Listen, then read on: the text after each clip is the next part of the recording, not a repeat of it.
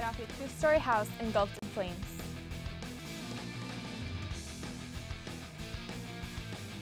A German cuisine makes its grand opening in the heart of Santa Ana.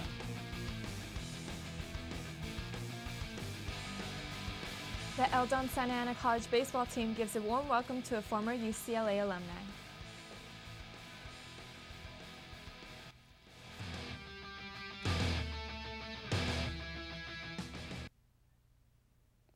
And welcome to this week's edition of Around and About Orange County News. I'm Jeanette Duran. And I am Edwin Melendez. Welcome to the show. A fire breaks loose in a Santa Ana home, and I was at the scene to bring you the details.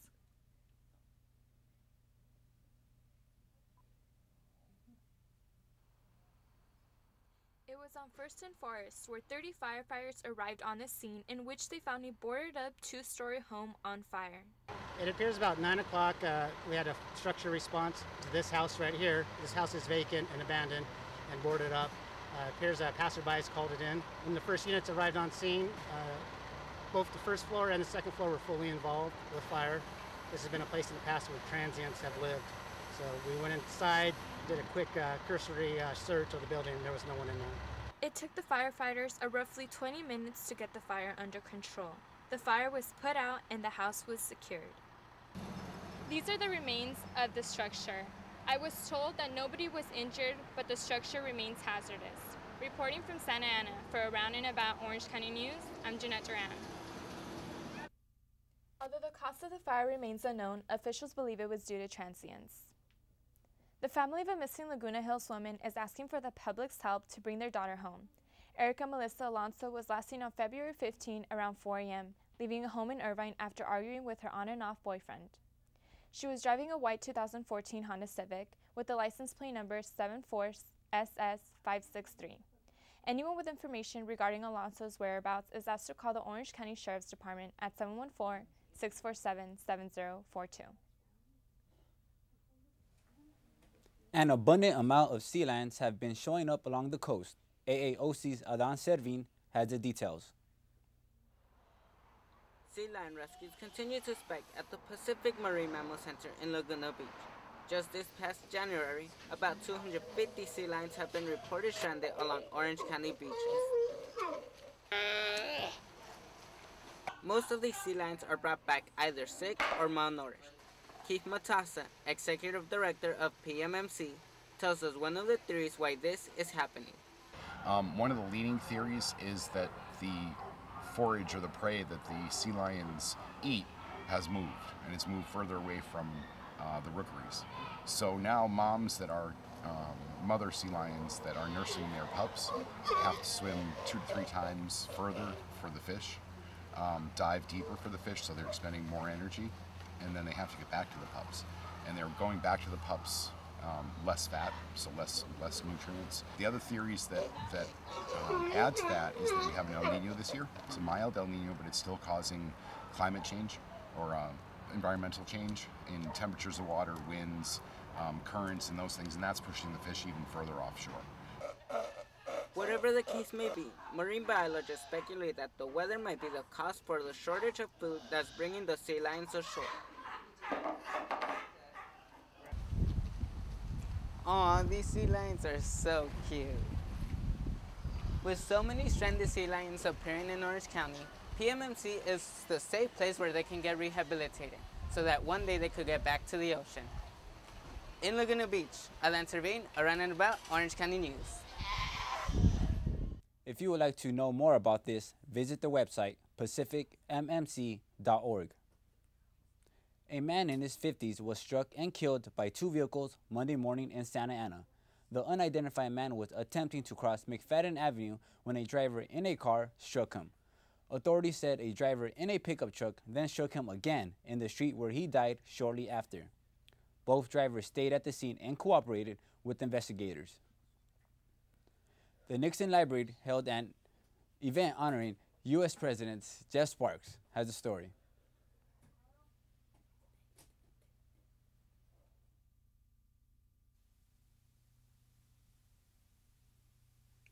On President's Day, we reflect on the office of the presidency and the 43 former U.S. presidents. Honoring them and reflecting on their lives. The 37th chief executive was Richard Milhous Nixon. He was born, raised, and even laid to rest in Orange County, specifically Yorba Linda, and especially right here on these grounds. Using the occasion of President's Day, the Richard Nixon Foundation opens up the nine acre campus to tour for free and thousands partake. For a quarter of a century, the Richard Nixon Presidential Library and Museum has welcomed millions of visitors from around the globe. The museum visit begins in the spacious Annenberg Court with a wall display of every Time magazine that featured Nixon on the cover, a whopping 55 times, more than any other person. Yeah, this is a really special place. You know, it is one of 13 presidential libraries here in the United States, and um, we have the home here where Richard Nixon was born more than 100 years ago. 50 feet away um, are the resting places of both the President and Mrs. Nixon. Um, the helicopter that he and three other presidents used is here on site, Marine One helicopter. And uh, for researchers and historians, we have over 40 million documents, um, hundreds of thousands of photos um, that are here and available for researchers. The only Orange County resident to become chief executive, Nixon left us 21 years ago, also leaving us with a place to ponder all things Richard Nixon. Visual media, namely television, has a substantial effect on the public's perception of Richard Nixon. The president, what does it mean to me? It means honoring the leaders of our nation, starting with Mr. Washington, who founded the republic, Mr. Jefferson, who expanded it, and Mr. Lincoln, who saved it. What does President's Day mean to me? I think it's uh, just an awareness of getting back to patriotism, which we have a lack of these days. I think it's just to remind people, let's get back to that. And like I said before, like Uh, back to character, honesty, integrity, doing the right thing. Simple, easy. You just do it. The idea of if I were president, what would I say? As Thomas Jefferson, I believed a certain amount. As Dale Reynolds, I believe even more. Democracy is the best form of government, except for everything else, as Winston Churchill said. I'm glad we have one day for the presidents, all of them. Thousands of us spent President's Day becoming educated and entertained with the likes of Presidents Washington, Jefferson, Lincoln, and Teddy Roosevelt. Reporting for Roundabout Orange County News in Yorba Linda at the Nixon Library, I'm Jeff Sparks. The Founding Fathers approve of our modern celebration. Drastic safety measures are underway by the, Rancho, by the Rancho Santiago Community College District. Both Santa Ana and Santiago Canyon colleges will be implementing armed security guards on campus as the first public colleges and universities. This new policy was unanimously approved by district trustees earlier this month. Their spokeswoman, Judy Lancone, said that there will be 16 armed guards and managers within the next year to 18 months. Join our reporter Jeanette Duran as she takes part in Santa Ana College Centennial celebration.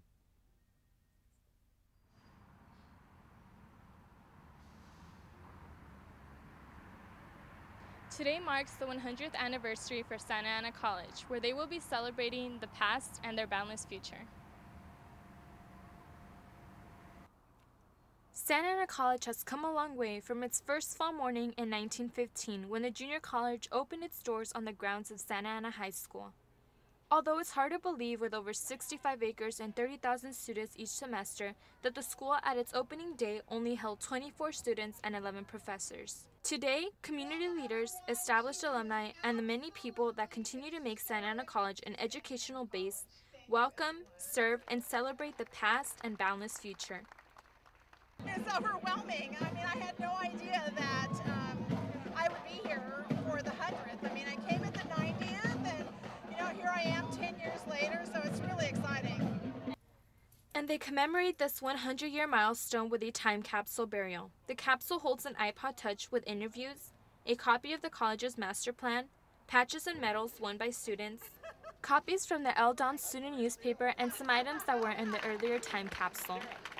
Throughout the year, Santa Ana College will hold other events to celebrate the past of the many students and staff that have roamed its campus grounds, and to the upcoming students that will get to enjoy the new buildings, programs, and scholarships that the school is very soon to establish. Reporting for Around and About Orange County News, I'm Jeanette Duran. We will keep you updated on upcoming events that the college will hold to continue the celebration. By observing how other companies have failed, Orange County has learned how to promote what it's essentially a toilet to tap water treatment system. North and Central Orange County res residents are already drinking crystal clear water with 70 gallons pumped underground every day as part of the groundwater replenishment system. Double the amount of water will be injected underground thanks to a $143 million expansion. Now we'll pass it over to Claudia Buccio, who will give us all the latest news going in the world of entertainment. Thanks, Edwin. I'm Claudia Buccio, and Happy New Year! Welcome to the year of the goat, sheep, or ram, depending on where you're from. 1,500 spectators attended the firecracker celebration at the Asian Garden Mall in Westminster on February 19th. Lunar New Year is the first day of secular, sacred, or other year whose months are coordinated by the cycles of the moon. It is celebrated by Korean, Tibetan, Mongolian, Vietnamese, and Chinese cultures around the world, with banging and popping of controlled explosions which are said to scare off bad luck for the upcoming year. Carlos Callejo in Santa Ana College shared his works of art with the students. Our very own Jeff Sparks paints us a picture of the event. About 100 people gathered for the opening of his art show at Santa Ana College. From paper to wall, the Murals of Carlos Callejo, is on exhibit now through April 2nd, open to the public for free.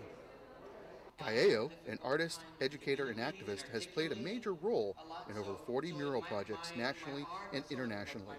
From Paper to Wall demonstrates how the mural process unfolds from idea and concept to proposal, design, production, and the numerous people involved in this form of public art. During the six week exhibit, Callejo will be working and creating a new mural in the art gallery with assistance of students. The new mural will be then gifted to the college. I'm trying to bring in art shows that show students how things are done, the behind the scenes techniques and whatnot. And so that's really important for me to show the students how things are done. And it's not just some magical piece that's just all of a sudden appearing on a wall. His artistic endeavors have focused on individual histories with images of cultural traditions, aspirations, celebrations, and community challenges. The final artistic result reflects the dignity of that particular community. He combines cultural sensitivity, audience, academic knowledge, and practical training to create his distinguished works. There's a difference between my what I call my studio work and my public art work. Uh, my studio work is more my own interpretation of the idea or the subject matter, but whereas the public art, there's a certain responsibility that goes for that because it's not your interpretation. You have to be like the voice of the particular community that you're that you're doing. That either you're doing the mural, your installation, installing a mural, and so it has to speak. It has to be their voice. So I'm only a tool for their inspirations, their celebrations, their struggles, their cultural traditions. So I try to be as, as sensitive to that as possible. A longstanding advocate of public art, Callejo has dedicated much of his career to the creation of murals in the barrios throughout the United States and abroad. From paper to wall, the murals of Carlos Callejo. Reporting for Roundabout Orange County News, I'm Jeff Sparks from Santa Ana College. If you're interested, the murals will remain on exhibit until April 2nd. Hollywood's most anticipated night, star-studded night, finally came to place in the 87th Academy Awards ceremony. It was a celebration full of surprises and humor with Neil Patrick Harris as this year's host. Birdman won Best Picture, Best Cinematography, Original Screenplay, and Best Director in the hands of Alejandro González Iñárritu. Eddie Redmayne, who starred in The Theory of Everything, won the category of Best Actor, and Julianne Moore won Best Actress for her role in Still Alice. Looking for a new place to eat? You're in luck. A new restaurant has opened up in downtown Santa Ana. Our reporter Alex Lopez has the scoop. Downtown Santa Ana has gotten a whole lot tastier with the opening of Wursthaus. The restaurant offers a delicious assortment of sausages, Belgian fries, and a great selection of Belgian and German beer. Walking in, you are greeted by the smell of deliciousness as the sausages are sizzled on the grill.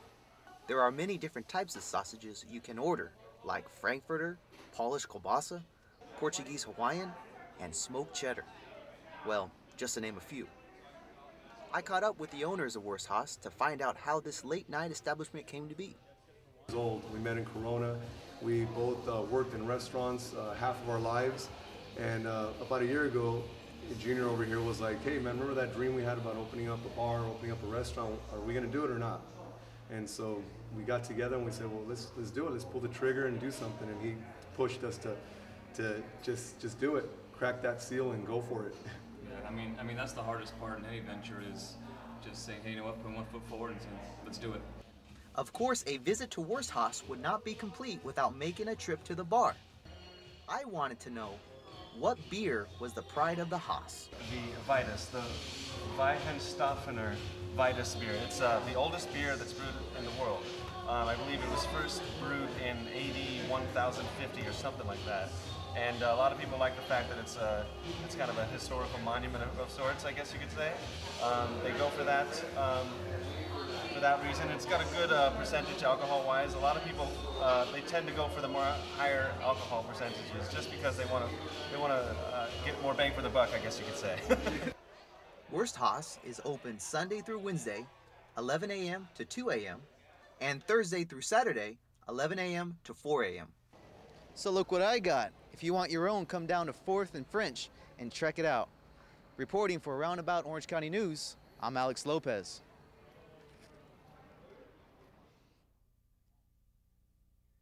Thank you, Alex, for that tasty report. Now I know what I'll be having for lunch today. Although I have so much more on entertainment I could share with you, I'm going to pass it back to the anchors at the news desk. Thanks.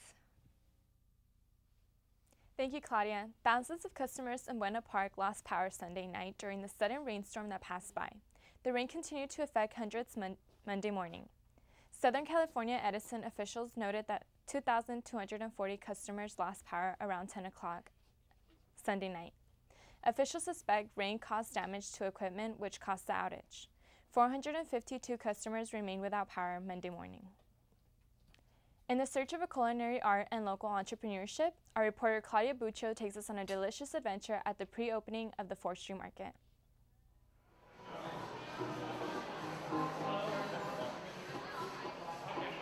The 4th Street Market is finally here to stay.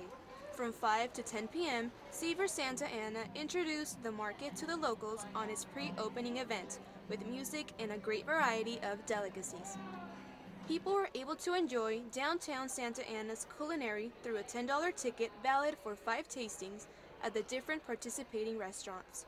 This amazing project cost several millions of dollars, but it was definitely worth the wait. Santa Ana now has a lot more to offer in terms of uh, diversity of foods and, and uh, culture, and this type of event really promotes it in the way that should be. Approximately 50% of the restaurants are owned by so-called Santaneros, which creates a bond between culture and economics.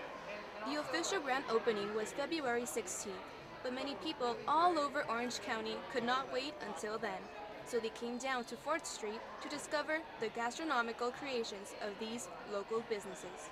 It will be open on a daily basis from 7 a.m. to 10 p.m.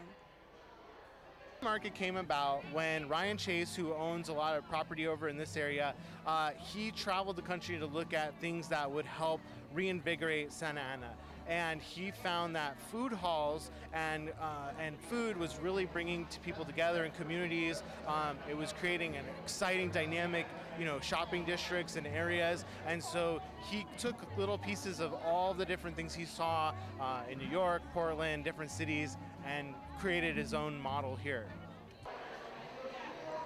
The 4th Street Market brought family and friends together in a way that only great food can provide. Long lines in crowded areas were no problem due to the innovative atmosphere that the market creates.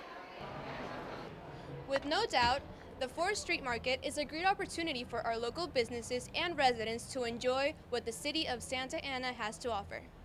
I'm Claudia Buccio reporting from Santa Ana for Around and About Orange County News.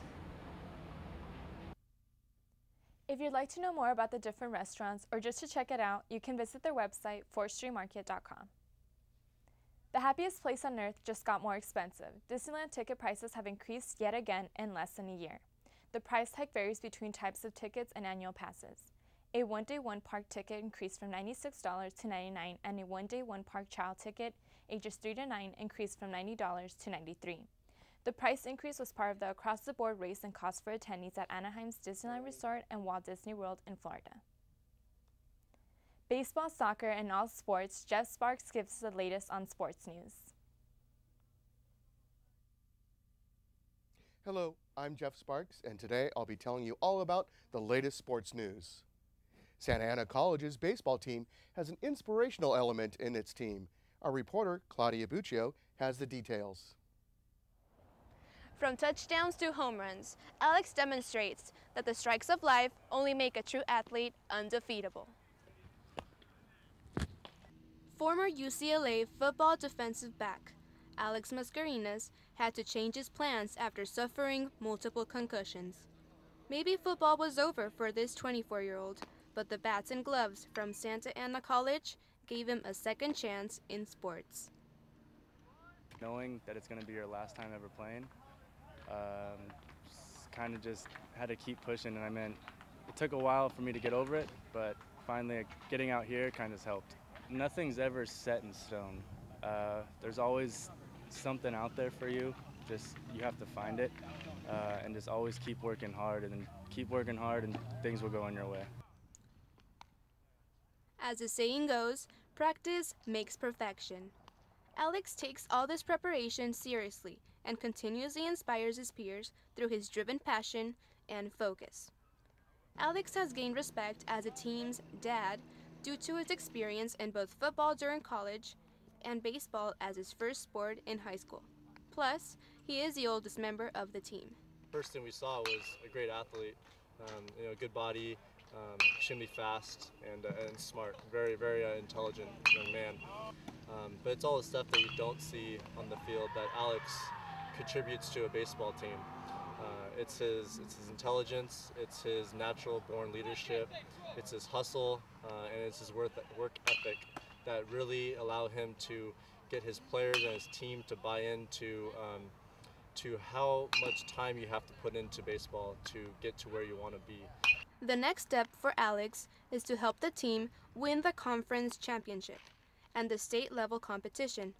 Academically, he wants to pursue a master's degree, probably in sports psychology, at a good NAIA school for a couple more baseball seasons. A great lesson is taught. It is never too late to fight for a dream. Reporting from Santa Ana for Around and About Orange County News, I'm Claudia Buccio. Determination and dedication have led Alex to become a successful baseball player and a role model for many. Angel left fielder Josh Hamilton will be out longer than expected due to a right shoulder injury. The initial prognosis was that Hamilton would be out for six to eight weeks after surgery. Now, the new timeline could be as much as 12 weeks. Hamilton will miss most, if not all, of spring training. The 33 year old is expected to return sometime in May. Newport Fit for Life gives us the keys to health and fitness. I went to check out the latest information.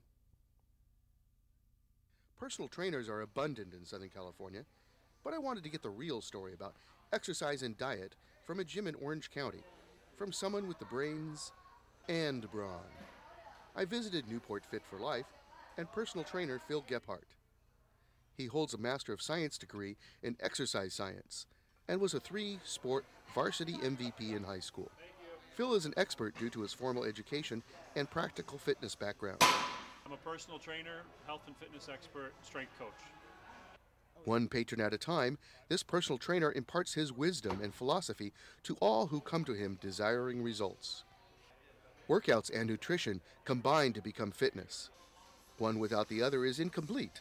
A lot of what we eat in America, um, one is sad and depressing, but can also make people feel sad. Health is when one has a proper balance in life.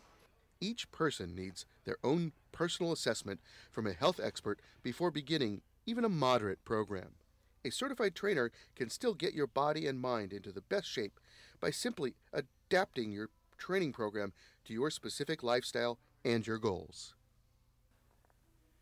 After an exhaustive workout and being educated about health and fitness, here at Newport Fit for Life in Irvine, reporting for Around and About Orange County News, I'm Jeff Sparks.